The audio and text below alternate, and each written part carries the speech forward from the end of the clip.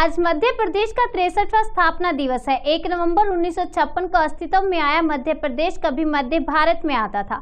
लेकिन 15 अगस्त उन्नीस सौ सैंतालीस को आज़ादी मिलने के बाद देश की सभी रियासतों को स्वतंत्र भारत में मिलाकर एक चित्र किया गया।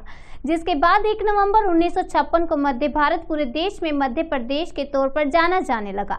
धार के शासकीय बालक हाई स्कूल परिसर में आज प्रातः नौ बजे मध्य प्रदेश स्थापना दिवस के अवसर पर जिला स्तरीय समारोह का आयोजन किया गया, जिसमें धार कलेक्टर दीपक सिंह, पुलिस अधीक्षक बीरेंद्र सिंह, जिला पंचायत सीईओ रविंद्र कुमार चौधरी एवं स्कूली छात्र छात्राएँ तथा अन्य गणमान्य नागरिकों की उपस्थिति में बड़े ही हर्ष के साथ मनाया गया, जिसमें धार कलेक्टर द्वारा ध्वजारोहण किया गया। इसके पश्चात राष्ट्रगान गाया गया और स्कूली बच्चों द्वारा रंगारंग सांस्कृतिक कार्यक्रमों की जोरदार प्रस्तुतियाँ दी गई।